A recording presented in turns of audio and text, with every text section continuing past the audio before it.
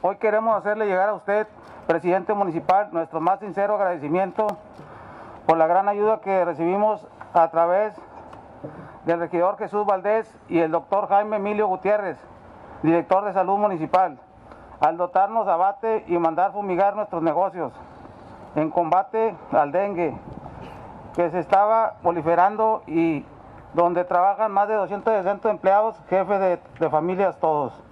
Pero aquí yo quiero hacer un llamado para que podamos trabajar de manera conjunta todos.